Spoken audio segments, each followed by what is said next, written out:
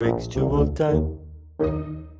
Hello and welcome to Rick's Tool Time. This week is going to be a little bit different from previous times. Several weeks back when demonstrating the continuity of a small mocked up circuit to showcase hidden test points on various Wago connectors, I may have mentioned that removing safety tips to access the test points would violate the guidelines in GS38.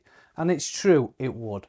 However, I may have swapped out the TIS 859 probes for another and upon release of the tool time, well, here at eFIXX we have always described Mark from TIS as a gentle, kind and softly spoken individual. Nothing has changed.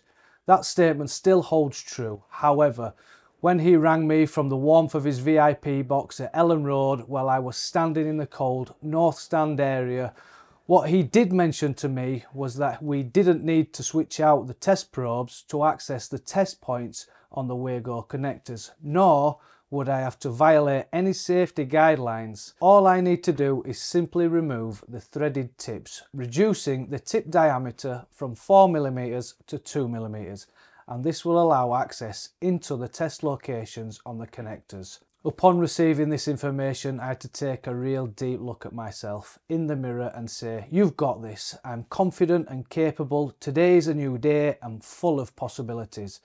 I splashed my face and realised I need to right my wrongs. First, by creating this video, and secondly, which is most important, issuing myself with an eFIXX Historical Society sticker stating that I was wrong to switch out that TIS 859 probes due to my negligence and lack of product knowledge. So here we have it. Apologies Mark. I too now have a sticker that states I was wrong within the workshop which is sitting above Gordon's. With the apology out of the way, let's recap on the continuity tests with the TIS 859. So here we have it. I just pop these back and we'll just check, make sure we're getting continuity between these. You can see, there we have it. But if we just take off this tip on the end, which isn't stated in the manual, or not that I can find anyways, if we just remove them by unscrewing them, just pop them there for now. And if I clamp on to the end of here, if I just probe onto the 221 in there, we get the continuity sound on that one. Then if we just move across to the 221 inline here, we can probe on the top there.